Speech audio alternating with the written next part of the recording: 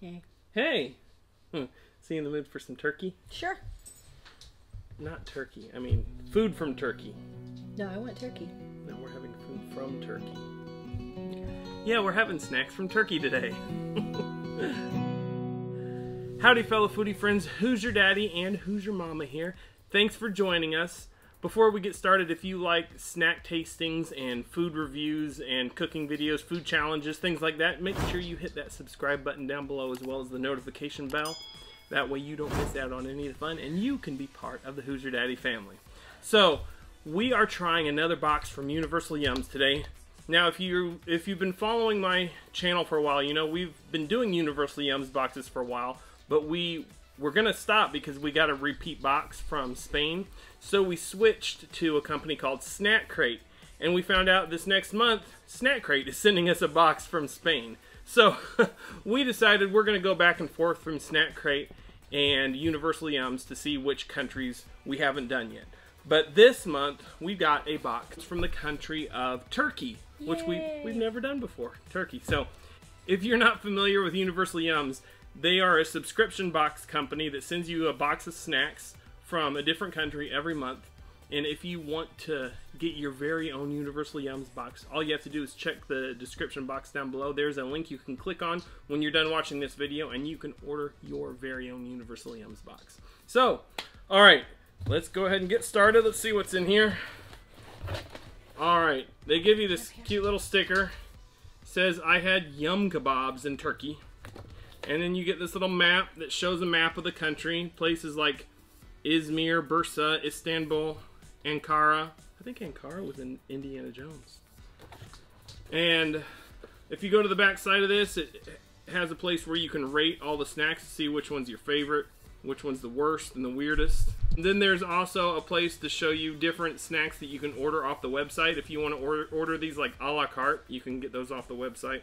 We've done that before with some of our favorites. Yes. And then this is the cool part. You get this booklet that has all kinds of cool information in it, all about Turkey and about the companies that send us the snacks. There's Turkey in 60 Seconds, talks about Muslim whirlers, and the word shish kebab comes from Turkey.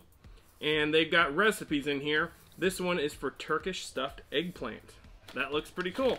There's also some trivia questions, and there's some information about all of the snacks that we're going to try. And there is some nutrition facts for all the snacks. Then there's a list of some famous Turkish people, and a little Mad Lib from a Turkish poet named Nazim Hikmet. And then there's some more information about Turkish breakfast. Says their breakfast, the word for breakfast is kavalti, which literally means before coffee, because they always have coffee after their breakfast. And then there's another recipe for a yogurt drink, which is basically just yogurt, water, and salt. Sounds disgusting. Okay. And then it says that Turkish coffee isn't just famous for its taste, it's also famous for its role in tasseography. Tasseography is telling your fortune based on the leftover grounds in the bottom of your coffee. I've seen people do it in movies. Yeah. Interesting. Then there's some cool, interesting stuff about Turkish baths. And then on the back of this, it just has some more information about where you can go online to order more snacks. All right. Well, you ready to get started? I've been ready for a while. Okay, we are going to start with the savory things. They give us a mix of savory and sweet, so we save the sweet till the end. First up is Pop Out Rice Cakes. It looks like they're flavored honey mustard and onion. Alright, so these just look like little rice cakes that we get at Walmart every week. I've never seen honey mustard flavor. Nope, we get chocolate, apple cinnamon, and caramel. Hmm. That's pretty good though, I like these. I'm not usually a big fan of rice cakes. Yeah, those have a good flavor. Hmm. They're good. Yeah, those are pretty tasty. I think I give those about an 8. Eight. Alright. Pretty good. Pretty good. before we get to the next one, you'll have to forgive us. If you're from Turkey and you know how to pronounce any of this stuff, let me know down in the comments because we don't know how to speak this, so I'm sure I'm going to mispronounce a lot of these products. So just bear with me. This one is crispy Tertikli. F. Sunny Taco. Baharat Sesnili. Well, yeah.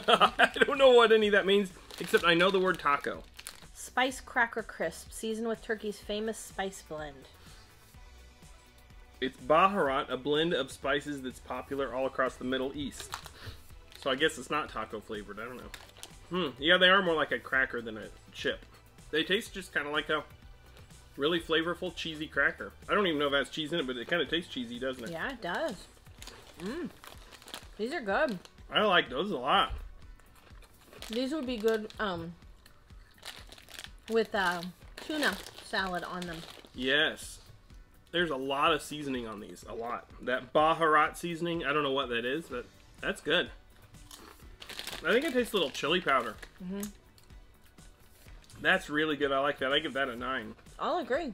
Yes. Next up, some Auto Nuts. Yellow chickpea nuts. They look like little bitty dried up chickpeas. Well, aren't those cute? Salted roasted chickpeas. Oh, those are soft. They are. I That's thought they- weird. I thought it was gonna be crunchy. Mm-hmm. Not a lot of flavor. Like, Nope, don't like that. they taste kind of like stale peanuts that have gotten soft. Yeah. Gotten too much moisture in them. Yes. I don't like the consistency. The flavor is okay, but I don't like how soft it is. How it just kind of squishes between your teeth. hmm I don't like that. Just because of the consistency. I'm not big on the flavor either. I, It's just Yeah. salt. it needs more salt. It needs more flavor of some sort. I probably only give those about a four. Put some of the Baharat seasoning on those, and those would be. Yeah, that would be good. Yeah. All right, now for the last savory thing, we have something called list nuts, paprika flavored corn nuts. Oh, they're hot paprika. Great. So these look kind of like corn nuts. Yeah, they they look exactly like corn nuts. Hmm. This says that on the Black Sea coast, a mountainous area in northern Turkey known as corn country, you must do like the they do in corn country and eat corn. Did you say K O R N corn country? I did. He's singing the song from a country music station here. These are pretty good. And I'm not a fan of spicy hot stuff, but these aren't bothering me. They're not really spicy, even though it says hot paprika. They just taste like a good corn nut. Mm-hmm. These are good. Very good. I like those. I give those a nine too. I like those a lot. 92? Nine also. Um, yeah, nine for me also. Very crunchy. Can you tell? All right, sweet stuff. You ready for some sweet stuff? I guess so. Hot stuff. So next we have something called tahini halva, vanilla flavored. Now, tahini is something that's made from ground sesame seeds. I don't think I've ever had it before. I, well, tahini is what you put in hummus, right? Yeah, when I make hummus, I make tahini first. So this is a sweet tahini. What what's halva? Doesn't say. Hmm. So I guess ha- halva is just this type of dessert. They have all different flavors. We got vanilla tahini flavored. Okay, that looks like a, just a big block, like a dense white block. Almost like a zero candy bar. But it's real brittle inside. It breaks apart really easy.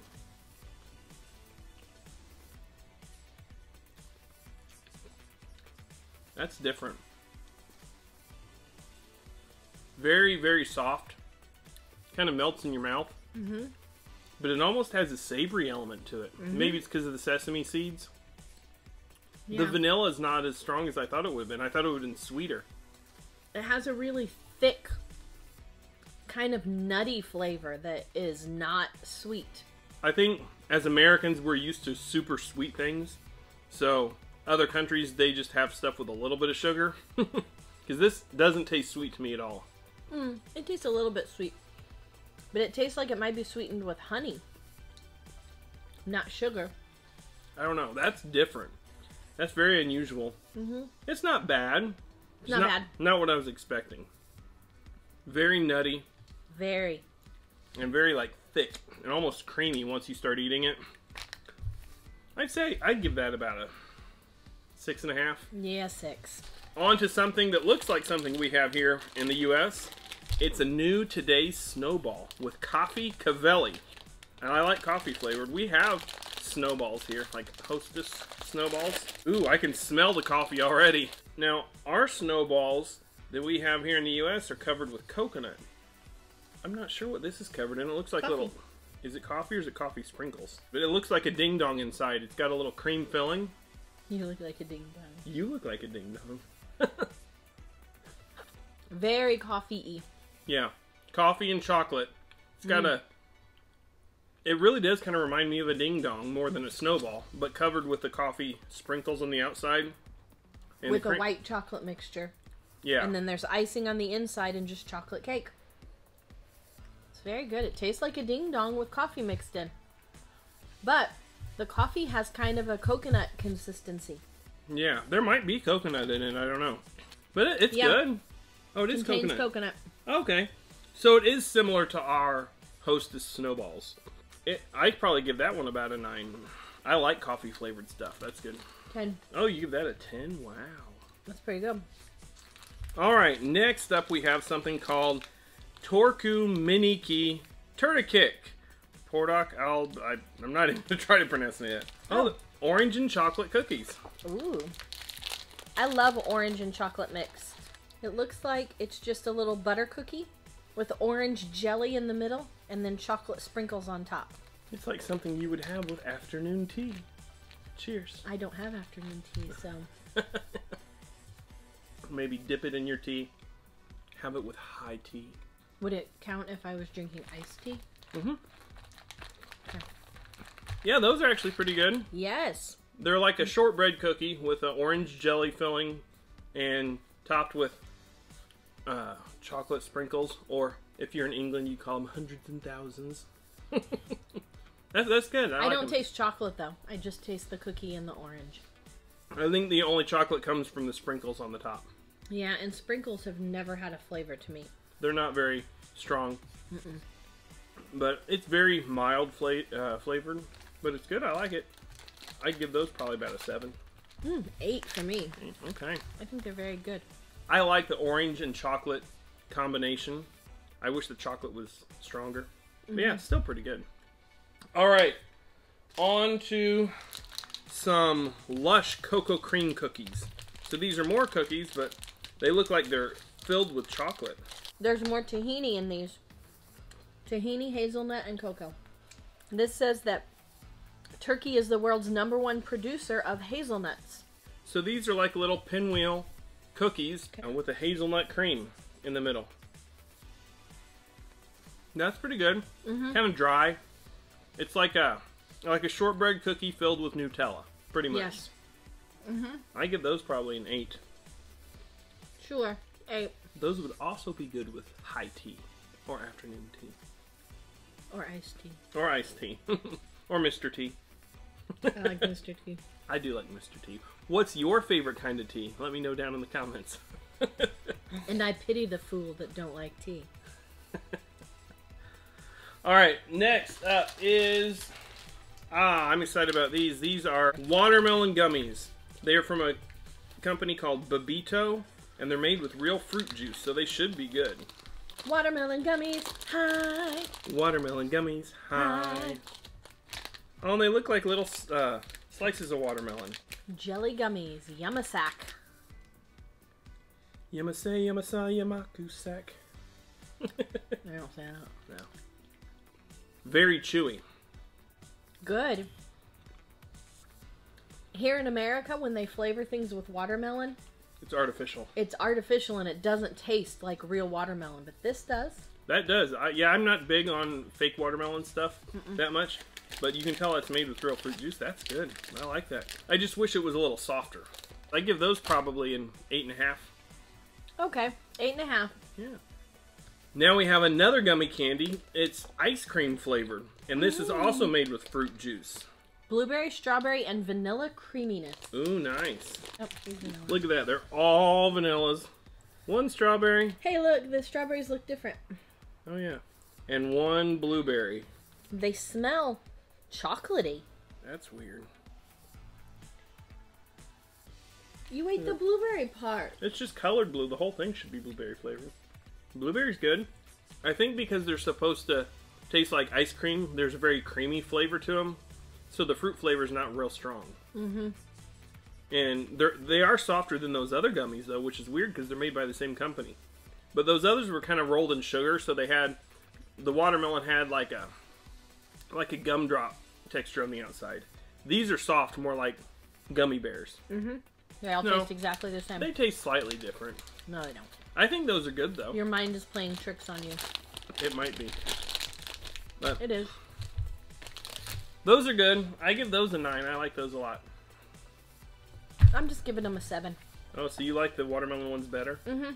Okay, now for our penultimate thing, they give us this thing called a yum bag that they put a bunch of little candies in, and it's usually an assortment of different flavors. So in this one, we got two types of candy. We got something called Toffix Mellow Mellow, and then we got another Toffix Mastic. I don't know what those flavors are. So This one is melon and lime, Oh, so Mellow Mellow is melon and lime. and this one is oh, dripping off the trees in the island of Chios. You'll find something fantastic, mastic. While locals are obsessed with the gummy sap in all of its refreshing piney glory, they put it in everything from liqueurs to foods to cosmetics. So this is called mastic, which is uh, sap from a tree. Okay, it's like a, I don't know, like a Starburst consistency, maybe, kind of. Bit of honey. Hmm. Wow, It tastes like a pine tree. that's weird. That oh no nope no it tastes like you're eating sap. It really does. It tastes like sap from a pine tree. I kind of like it. that's gross. It's what I imagine a pine cone would taste like. Not the consistency, but the flavor. I did not like that at mm. all. Zero. Zero point zero. I give it a five. It's all right. Ew. And this other one, this is melon and lime. This will probably be better. Okay, I hope so. It's cool. It looks like the melon is in the middle and the lime is on the outside. I guess you can have that one. It tastes like pine cleaner and lemon cleaner mixed. tastes like I'm washing out my mouth with lemon pine salt. Yeah, maybe you should have washed out your mouth before you ate that. I think that one's good. I like that one even better. The melon and lime together. Nope. That's good. I, I give that about an eight and a half. Me no likey. Mm, two. Really? Yes. Melon and lime? Wow. Okay, now for the final one. These look pretty good. Oh. They are.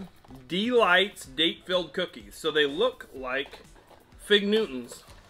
It's not a cookie, it's a Newton.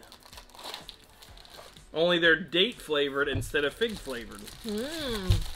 It looks exactly like a Fig Newton. It tastes a lot like a Fig Newton too. And it tastes just like it. It's a date Newton. They're pretty good. Fig Newtons have um a little bit of crunch to them. hmm These are a little softer. These are softer and not as tangy of a flavor. Not as bold of a flavor. They're more mild. Yes. They're still good though. Just a mild, little bit blander, softer Fig Newton. Yeah. But those are good, and I like those. I give those about an eight. Sure. Eight. All right. So out of all of these snacks, which one was your favorite? mm, that's easy. The oh, the corn nuts, Mm-hmm. the hot paprika corn nuts. Those were really good. I think I like these. The crackers, the um, Baharat flavored crackers. Those are really good. They were both good, but I like the crispiness of these. Now, the no, crunchiness. the weirdest was definitely that pine sap flavored. Mastic toffee. Yeah, those those are really weird. Like you're licking a pine cone.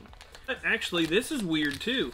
This um, halva, Mm-hmm. that was equally weird. The tahini candy bar. Yeah, Weird. tahini t- halva vanilla flavor. Now the what was the worst? You would say the mastic Mm-hmm. toffee. Yes. Yeah. These Auto Nuts Yellow Chickpea dried chickpeas. These were my least favorite. These were gross. I think Turkish savory snacks are better than their sweet snacks. Yeah. Yes, I agree. But overall, that, that wasn't too bad of a box.